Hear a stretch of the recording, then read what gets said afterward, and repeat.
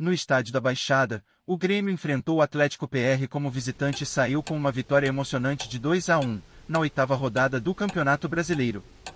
Os gols foram marcados por Cuiabano e Bruno Vini para o tricolor gaúcho, enquanto Vitor Roque descontou para o Furacão. Com essa vitória conquistada fora de casa, o Grêmio saltou da décima posição para o terceiro lugar na tabela, momentaneamente, somando 14 pontos.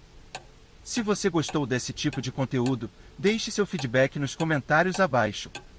Não se esqueça de se inscrever no canal, obrigado por assistir e até mais!